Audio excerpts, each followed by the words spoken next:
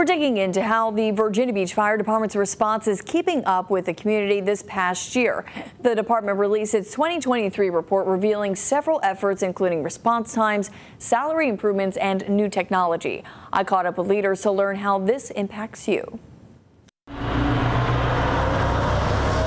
Keeping up with Virginia Beach's first response is no easy task. It takes a lot of people, a lot of moving parts. The city's fire and rescue crews say they are coming up with new strategies each year to help the more than 460,000 people they serve in Virginia Beach. In the department's 2023 report, leaders say they added new technology like jet skis, drones, and an entirely new station near Northampton Boulevard. Having that ability to uh, improve our marine response, including the jet ski response, and helps us get to swimmers in distress and our boat team.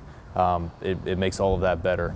Battalion Chief Kyle Basilovic with Station 7 says crews have gotten their average response time down to four minutes. It's an effort he and his team want to see improve as they work to fill vacancies with their 2023 salary improvements, according to the new report. Our standards for NFPA are four person minimum staffing on all of our trucks. The report states a majority of the department's responses in 2023 were related to EMS, and only a slim margin included calls for fire rescues, despite a busy summer tackling flames at homes and businesses. Basilovic says while the department had plenty of positive results for 2023, they're always looking for improvement. Um, we've strived to do that for many, many years, and we're continuing to do that one step at a time.